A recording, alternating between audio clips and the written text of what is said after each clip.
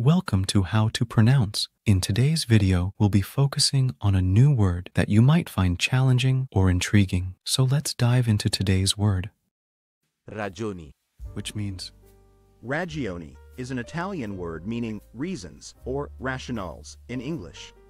let's say it all together. ragioni, ragioni, ragioni, One more time. ragioni, ragioni, Rajoni. Thank you for joining us on this adventure in pronunciation.